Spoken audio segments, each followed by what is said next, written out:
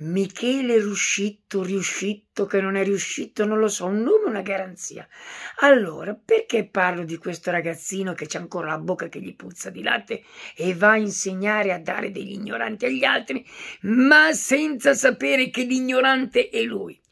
La creatina funziona, o meglio, viene veicolata nel, nel, torre, nel, torrente ematico e per arrivare ai muscoli, viene veicolata con i carboidrati, semplici o complessi che siano, sicuramente molto meglio i complessi. E quello, il, la veicolazione avviene tramite gli zuccheri. Quindi la creatina fa il suo lavoro correttamente ed appieno nei muscoli solo se c'è un'adeguata quantità di carboidrati all'interno del circolo sanguigno. Se no la creatina funziona poco. Provate per credere. Questa è la realtà dei fatti. Va da sé che se uno è in CAT, ecco perché non viene prescritta la creatina in CAT e lui dà degli ignoranti agli altri senza sapere che è ignorante lui. Se uno è in CAT, va da sé che i carbo sono bassi.